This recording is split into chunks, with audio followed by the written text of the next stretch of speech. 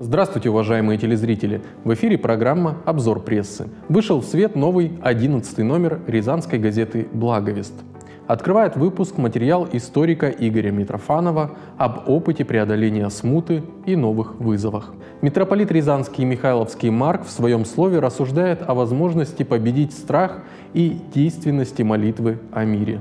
Преподаватель спортивного клуба «Стрела» Валерий Крючков рассказывает о разработанной им системе занятий, воспитывающей настоящих мужчин. Курсант десантного училища Даниил Давыдов размышляет о том, какое место занимает вера в жизни военнослужащего.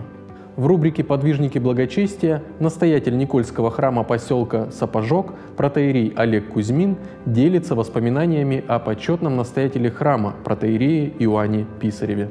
В разделе «Наш календарь» представлен рассказ об уникальном кипрском образе Божией Матери «Скоропослушница». О вечере памяти выдающихся православных педагогов Татьяны Зверевой и Софьи Никулиной рассказывается в рубрике «На шестой полосе». О воспитательных задачах, стоящих сейчас перед семьей и школой, и примерах их решения читайте в интервью с директором Рязанского центра семьи и детства Юрием Змейковым. Завершают номер рассказ прихожанки Успенского храма села Казарь о духовной жизни прихода и приглашение на фотовыставку в библиотеке имени Горького под названием «О чем молчат разрушенные храмы». Газету «Благовест» можно приобрести во всех храмах Рязанской митрополии и в редакции издания.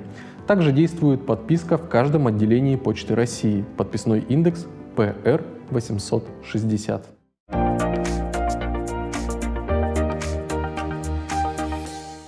Вышел в свет 22 выпуск самарской газеты «Благовест». На первой странице номера представлена статья «Золотая цепь», посвященная 30-летию рукоположения в сан протеерея Геннадия Беловолова, директора музея квартиры святого Иоанна Кронштадтского. В самарском поселке Управленческом отметили 25-летие основания православного прихода в честь всех святых в земле русской просиявших – Недавно назначенный настоятелем Ирий Андрей Мохов, тепло принятый прихожанами, поделился с корреспондентом газеты планами о дальнейшем развитии духовной жизни на приходе. Учительница из Волгоградской сельской глубинки Юлия Сысоева многими своими публикациями хорошо знакома читателям газеты «Благовест». В этом выпуске представлена новая большая подборка ее миниатюр. Вот такая пришла пора. Под этим названием опубликованы стихи, живущей в Приморском крае поэтессы Елены Александренко. В материале «Книга жизни» разместилась новая заметка писателя Владимира Крупина о том, как молитва помогает бороться со страхом смерти. Эти и другие публикации читайте в 22 выпуске Самарской православной газеты «Благовест». Подписаться на газету можно по каталогу Почты России, подписной индекс P6315.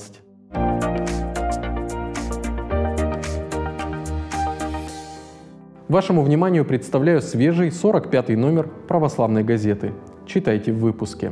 Раздел «Первосвятитель» открывает репортаж об освящении собора в честь великомученика Георгия Победоносца, расположенного во Владикавказе.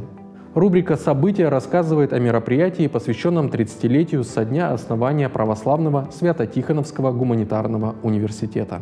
О молитве пойдет речь в разделе «Православная азбука». Что такое молитва и зачем она нужна человеку? Существуют ли правила молитвы? Бывает ли так, что человек во время молитвы приходит в неправильное душевное состояние? На все эти и другие подобные вопросы ответил отец Сергей Ксенофонтов. Программа по святым местам продолжает знакомить читателей со святынями и памятниками архитектуры города Пскова. Как сочетать духовное и интеллектуальное развитие? На эту тему в разделе «Беседы с батюшкой» рассуждает проректор Московской духовной академии священник Андрей Лысевич. Рубрику «Книжная полка» открывает обзор на книгу, рассказывающую о значении христианства в жизни великих композиторов. При православной службе милосердия Екатеринбургской епархии действует патронажная служба, которая недавно отметила свое 16-летие. Патронажная служба оказывает помощь не только пожилым людям и инвалидам на адресах – это консультации и учебные курсы для родственников подопечных, а также для волонтеров, желающих повысить квалификацию в сфере ухода. Если вы желаете присоединиться к команде добровольцев службы, читайте подробную информацию на 18 полосе. 20-летие со дня основания отметил Екатеринбургский приход храма во имя святителя Луки, воина Есенецкого. Читайте об этом знаменательном событии в материале «Приход». В разделе «Традиции» рассказывается о прошедшей в Волгограде выставке-форуме «Радость слова».